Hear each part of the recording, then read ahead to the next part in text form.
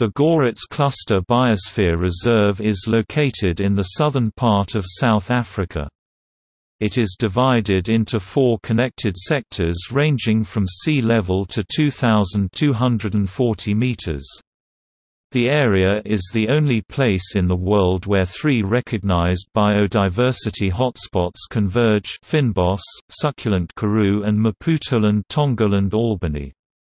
The site is characterized by high endemism of plant species 1,325 species including 182 succulent Karoo endemics and 92 red list species and threatened invertebrates including seven endemic species of the enigmatic beetle genus Colophon and 14 butterfly species. It provides a migratory route for large mammals such as the leopard and serves as a nursery for marine species. Notwithstanding the richness in biodiversity, the area currently faces deep-rooted socio-economic challenges including high unemployment, widespread poverty, sprawling informal settlements with inadequate services, rising HIV and crime rates.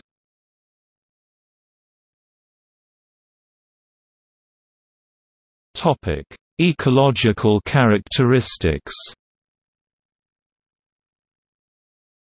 Because of its relatively large size, the proposed biosphere reserve is subdivided into four sectors or clusters, Touwerkop, Kammanassie, Langeberg and St. Blaize.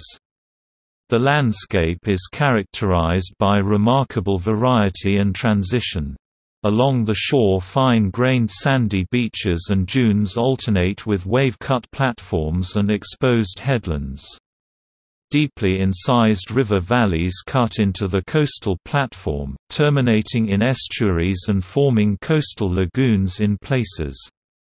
The Outeniqua and Langeberg Mountains separate the coastal region from the Little Karoo, forming a natural barrier between the Southern Cape and the interior. Further inland the Kammanassie, Kouga and Swartberg mountain ranges form the northern and eastern boundaries of the reserve.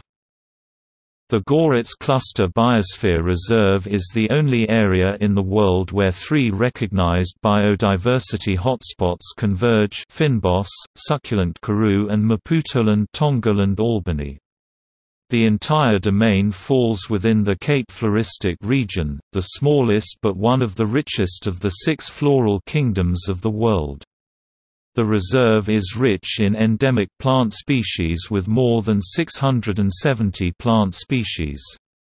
Even the arid inland portion of the reserve is rich in endemic species with at least 400 plant species. In terms of fauna, the reserve plays an important role in conserving two unique and threatened populations of Cape Mountain zebra Equus zebra zebra and Bontebok Damaliscus pygargus pygargus. Populations of leopard Panthera pardus are also present in most of the mountainous areas.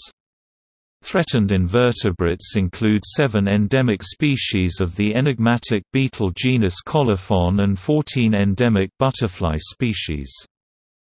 The reserve includes three recognized UNESCO World Heritage Sites, the Swartberg Complex, Boesmansbos Nature Reserve and Baviaanskloof.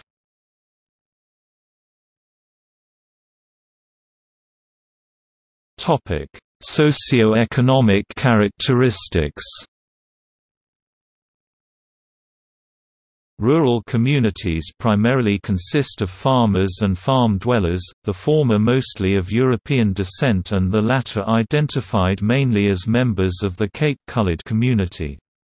Many are descendants of the area's original inhabitants, the ancient Khoisan people. The primary economic activity across these communities is intensive agriculture, including ostrich, dairy, citrus, wine and grain, combined with extensive grazing of cattle and sheep for meat as well as wool production. Tourism is also an important industry in the reserve, however the industry is still poorly developed in rural sections of the area. The area is facing deep-rooted socio-economic challenges including high unemployment, widespread poverty, sprawling informal settlements with inadequate services, rising HIV and crime rates. The reserve is a center of immense historical significance. Based on recent and ongoing research, the southern Cape Coast is believed to be the place where the lineage that led to all modern human beings was born.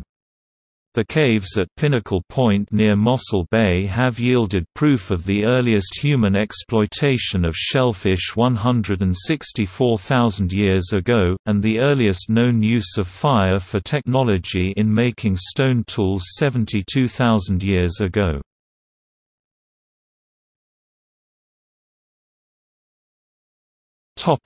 Sources This article incorporates text from a free content work. License Statement, UNESCO, MAB Biosphere Reserves Directory, UNESCO, UNESCO.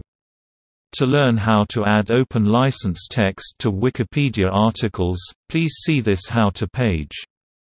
For information on reusing text from Wikipedia, please see the Terms of Use.